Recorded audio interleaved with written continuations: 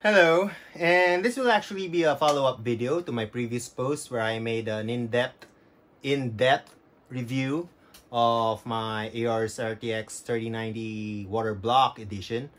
And my brother-in-law actually mentioned to me the, the video was simply too long. It may confuse some people, especially those who just skip right on to the conclusion part.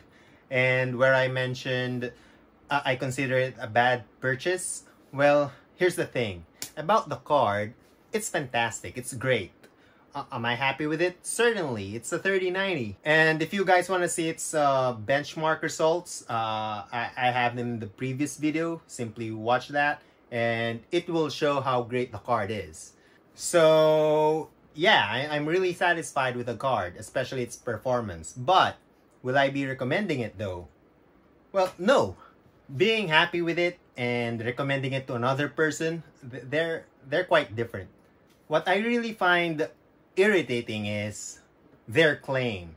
It says in their website, Waterforce cooling system designed for DIY PC enthusiasts aiming to create unique custom loop builds and achieve the highest possible performance in silence.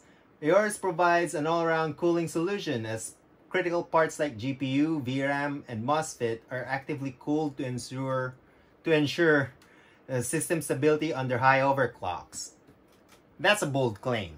What I think happened when they were designing this all-round cooling solution, the whole team uh, working for this uh, Waterforce cooling system huddled around the PCB trying to figure out that all-around cooling solution and all of them forgot to flip the PCB over where half of the RAMs are and when they finally finished designing the block and put it together, that's when they realized there are rams at the back. And they they went like, okay, let's just put in pads in there and slam a back plate on it and hope no one notices.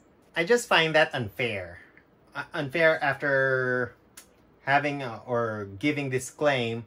Uh, I find it amateur-ish. So that reason that is the reason why I won't be recommending it to another person. But as for the card, I'm I'm really happy with it. And no, uh, for my friends out there, I, I won't be selling my card even at the same price. So that's how I that's how happy I am with it.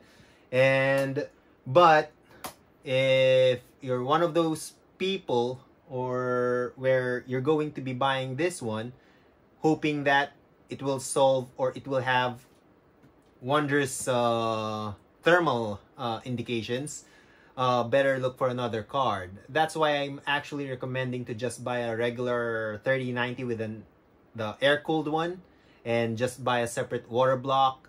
That way you could add in the option for the active backplate that EK provides.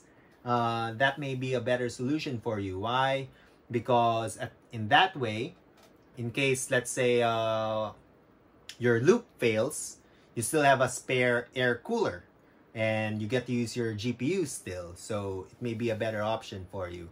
And I hope, again, I, I hope this video will help someone or clarify some confusion out there. And uh, Michael, I, I hope this video is pretty short for you and satisfy you. And uh, if you like this video, please hit the like button. Subscribe as well if you wanna. And see you in the next one.